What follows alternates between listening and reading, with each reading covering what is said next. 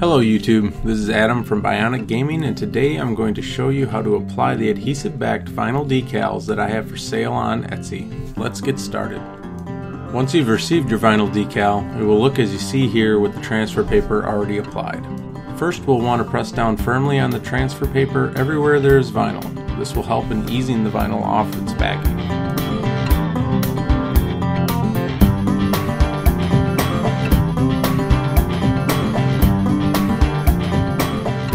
Next we begin peeling the transfer paper back and lifting the vinyl decal with it. This can be a frustrating process, as the smaller the pieces are, the harder they are to lift. But with some patient pressing and peeling, your decal should lift off completely onto the transfer paper. You'll see that I have some trouble lifting the letter I in my example decal.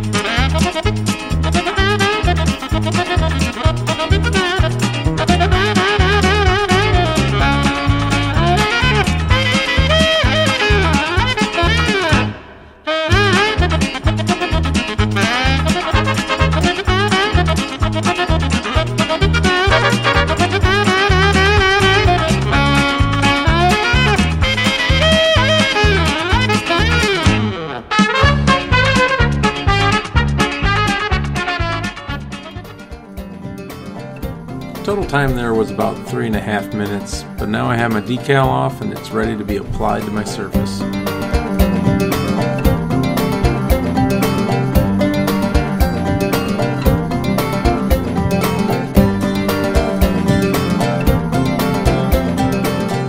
When applying your decal, make sure it is flat and not wrinkled when putting it on the surface.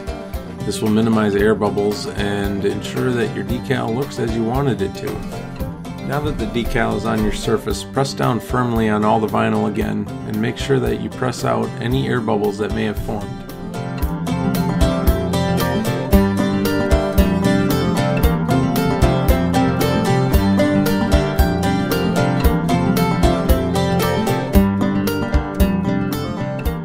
After you're done with that, all you have to do is peel the transfer paper off and your vinyl decal will be applied to your surface. As you can see, this isn't very difficult, but it does take some time and patience. When all was said and done, this took me about 6 minutes, including moving the camera around, so it should take you only, you know, 3 to 5 minutes to complete it on your own. I hope that you enjoyed this video and hopefully following these steps you will be able to fully enjoy your new vinyl decal wherever you decide to apply it. As always, thanks for watching, and if you enjoyed this video, please like and subscribe. I'll be making more videos like this one and would love any suggestions for other tutorials in the comments down below. Have a great day!